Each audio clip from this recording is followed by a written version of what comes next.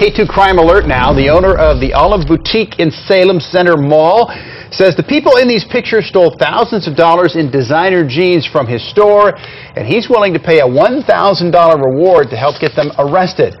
Salem police say the five people range in age from about 18 to their mid-50s. They made off with nine pairs of jeans valued at between three and four hundred dollars apiece. Now, one of the suspects appears to be pregnant and has a frowny face tattoo on her right hip.